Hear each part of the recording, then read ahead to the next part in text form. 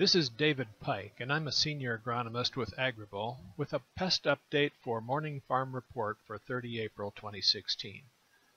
Since corn planting is progressing with earnest throughout the upper Midwest, I thought it might be helpful to review the facts about early migratory pests. At this time of the year, insect pests along the Gulf Coast are already in their adult airborne form. So insects such as black cutworm and armyworm moths will be taking advantage of the prevailing surface winds to get a lift, so to speak, into the upper Midwest regions.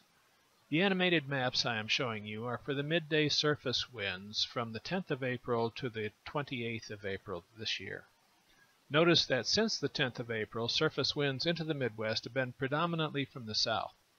While southerly winds are common at this time of the year, the combination of stormy weather followed by steady winds creates favorable conditions for moth flights to the north. Locations from as far north as Wisconsin, Minnesota, and South Dakota have been reporting significant cutworm moth numbers as well as armyworm moths. While you should be paying attention to the pheromone trap numbers from your own state, it's important to realize that they are only rough guidelines. Actual infestations of cutworms and armyworms in a field is driven somewhat by happenstance of local winds and weather, and somewhat by the fact that moths are attracted to areas of uncontrolled weeds or early emerging crop plants as egg-laying sites. The only effective means of determining if significant levels of these pests are in your fields is to scout for cut or damaged plants.